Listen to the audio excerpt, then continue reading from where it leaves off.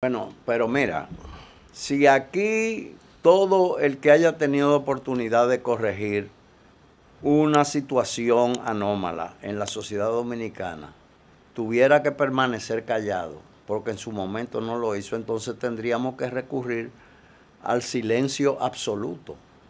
Yo creo que el hecho de que, como tú muy bien señalas, la fuerza del pueblo y las autoridades de la fuerza del pueblo tuvieron la oportunidad de cambiar la situación en torno a la salud mental, eh, pues no lo hayan hecho, no quiere decir que tengan que permanecer callados. Ahora, hay que también que plantearlo de la siguiente manera. Eh, es indiscutible que muchos de los problemas que hoy subsisten existían ya eh, cuando Leonel Fernández y la Fuerza del Pueblo, los, las principales dirigentes de la Fuerza del Pueblo estuvieron en el, poder, pero indiscutiblemente que el problema se ha ido agravando. Y está más agudo. Como todos los problemas en la medida que no se atienden debidamente. Entonces yo creo que sí, eh, es bueno recordarle, pero hay que tener en cuenta, y yo creo que tienen derecho a hacer la denuncia porque es un, están recogiendo no un asunto que ellos se han inventado, sino un clamor del, pueblo dominicano, inclusive hay una ley sobre un proyecto de ley sobre salud mental.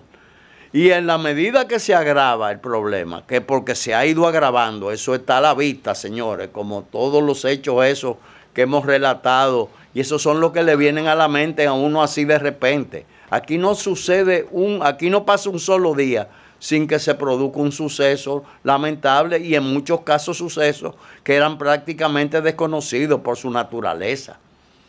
A nosotros hemos visto eh, en Higüey creo que fue que salió uno y disparando a mansalva contra hace ya un par de años, dos, ah, tres años, no recuerdo exactamente. un niño una madre decapitando a sus hijos.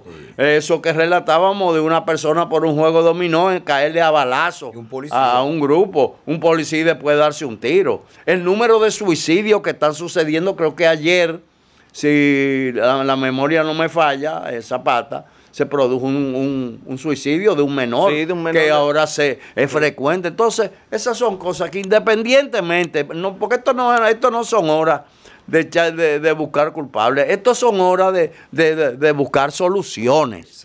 Yo creo que lo que tiene que buscar la gente son las soluciones porque tenemos una realidad que es irrefutable, que no permite duda de ninguna especie en torno a que la situación de la salud mental en la República Dominicana se ha ido agravando progresivamente y ya está adquiriendo unos ribetes realmente dramáticos.